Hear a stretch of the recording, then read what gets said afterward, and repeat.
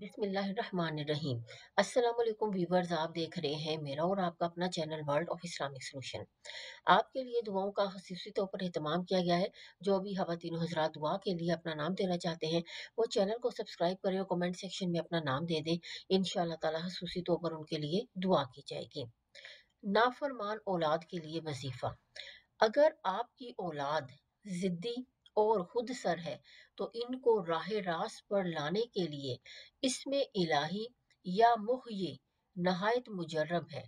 والدین کو چاہیے گیارہ دن تک یعنی الیون ڈیز تک، کسی بھی وقت اس اسم کو روزانہ ایک سو چودہ مرتبہ یعنی ون ہنڈریڈ فورٹین ٹائمز ہمراہ تین مرتبہ یعنی ساتھ میں اول اور آخر تین مرتبہ درود شریف پڑھیں۔ درود ابراہیمی پڑھیے گا، زیادہ افضل ہے، اور پانی پر دم کر کے بچوں کو پلا دیں۔ سبحان اللہ۔